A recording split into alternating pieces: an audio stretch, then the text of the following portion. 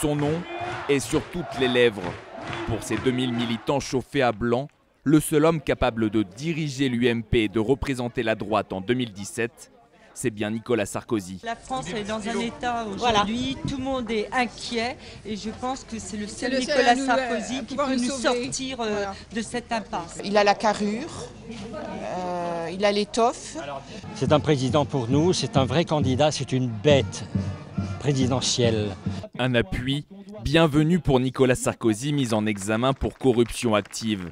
Mais à en croire ses proches, ses démêlés avec la justice ne compromettent pas son retour. Au contraire, il ne ferait que renforcer l'ancien président, victime, disent-ils, d'un acharnement judiciaire. François Hollande, Madame Taubira et l'ensemble du gouvernement sont tellement incompétents politiquement qu'ils sont décidés uniquement de s'attaquer à un homme, Nicolas Sarkozy. Je le dis à ceux qui cherchent à le salir, qu'ils sachent que cela renforce sa détermination. Je le dis à ceux qui l'espèrent voir renoncer.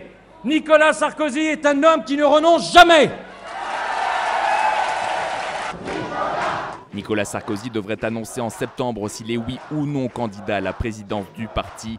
En attendant, ses soutiens politiques veulent mettre de côté toutes leurs vieilles rancœurs pour préparer au mieux le retour de leur leader.